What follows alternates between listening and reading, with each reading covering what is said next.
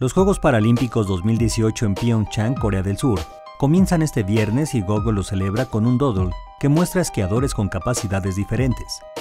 El buscador internacional comentó que 80 países de todo el mundo están enviando a sus atletas a competir en los Juegos, que tendrán lugar del 9 al 18 de marzo de este año. Reseñó en su blog que más de 670 atletas tienen la oportunidad de demostrar sus habilidades después de años de duro trabajo y entrenamiento. La compañía de Mountain View señaló que los Juegos Paralímpicos incluirán disciplinas como esquí alpino, biatlón, esquí de fondo, hockey sobre hielo, snowboard y curling en silla de ruedas. Notimex.